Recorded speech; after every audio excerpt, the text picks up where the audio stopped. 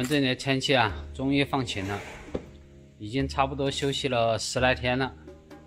再过个两三天，就可以出去捡那个干稻草了。这几天的太阳非常给力啊！看了一下天气预报，往后的半个月都是这种大晴天。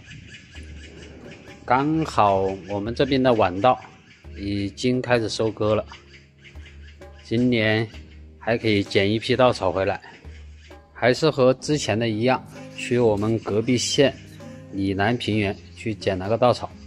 那边的田比较大，捡起来也方便一点。不像我们这里，我们这属于丘陵地带，下了一段时间的雨呢，那个田很多都积水了。那边都是虾稻田，基本上他们如果是不主动放水的话。田里面是很干的，这个小仓库这几天都吃的差不多了。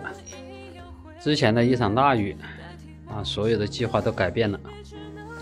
计划不如变化，本来是准备把这边几个小仓库全部装满的，这边的仓库也是空空如也啊。这都是之前收的一季稻。今年的牛价不值钱呐，只能通过另外的途径来把那个成本降低一下。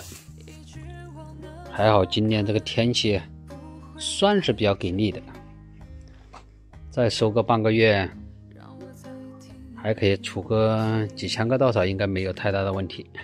像这种小方捆，我们一天差不多要二十来个，所以用量还是挺大的。